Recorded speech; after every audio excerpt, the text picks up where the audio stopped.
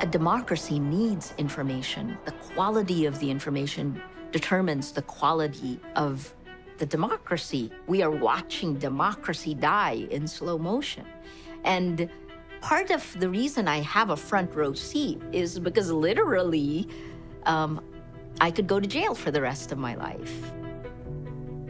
This is my 36th year as a journalist. Right now, journalists are vilified. We're the first to be attacked, which means anytime there's a play for power or money, they attack the truth tellers. I told you to avoid me. I'm telling the Filipino people, wag ako, it's gonna be bloody. You don't have to take away freedom of the press if you can intimidate them to take away their own freedoms.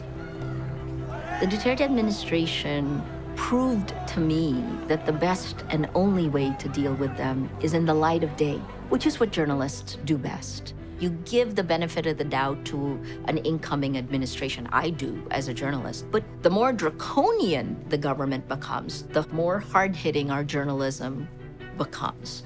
Without facts, you can't have truth. Without truth, you can't have trust. But we created Rappler precisely because we wanted to be truly independent. The threat has always been there, but we just refuse to let it get in the way. And we keep going.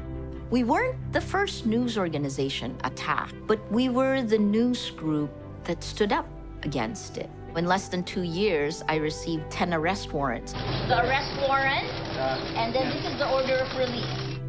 Our problems are not legal, they're political. All attempts to prevent us from doing our jobs as journalists. You must fight while your rights are still strong.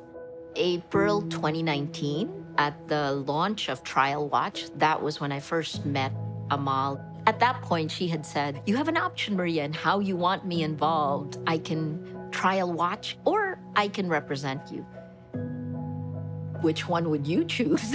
right?